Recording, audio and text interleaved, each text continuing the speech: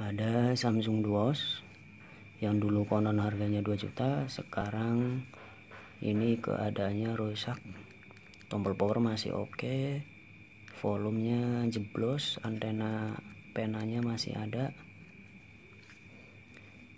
Waktu dicek nyala cuman bagian sininya kurang fungsi ya. Cukup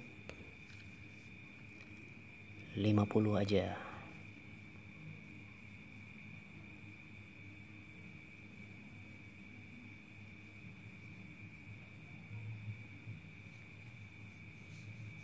kurang lebih gambarnya seperti ini.